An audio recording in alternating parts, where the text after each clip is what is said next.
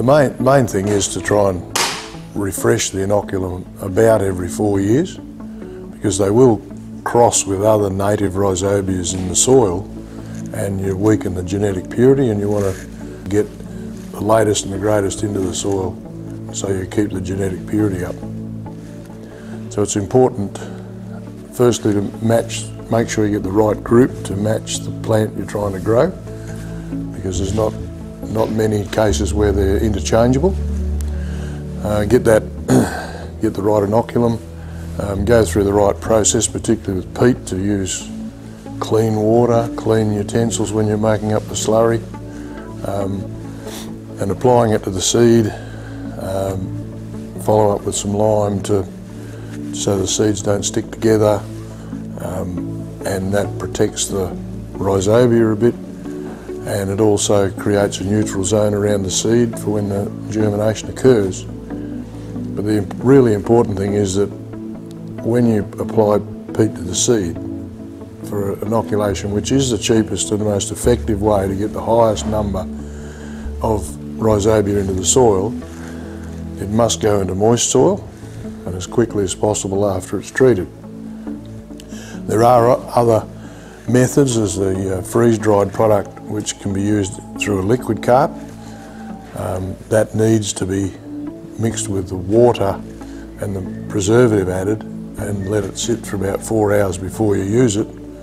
But once you put it on the seed or, or down the, or when if you're putting it on seed, you've only got five hours to get that seed into moist soil. Or if you're using liquid down the, down the tube from the liquid cart, um, it needs to go in and be covered up straight away. Um, then there's granular formulations that are available um, that you can mix with the seed and, and sow. And, uh, and that's, that's probably the easiest option because you haven't got any other processes to go through before you put it apart from mixing it with the seed.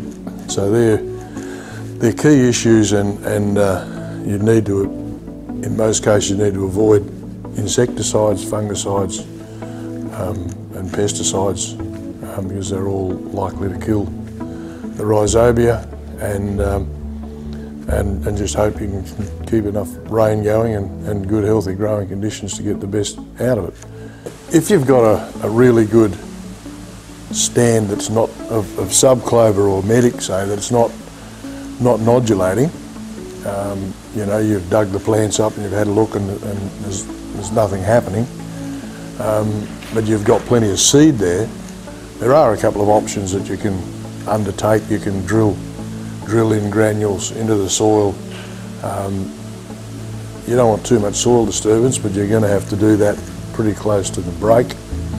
Um, or uh, you could treat some other small seeded thing like, say, canola seed, inoculate that with peat and get it into the soil right at the break. You don't want to be doing that after after it rains because your, your subclover medic will have already started to imbibe and you'll interfere with the survival of those seedlings that are already on the way.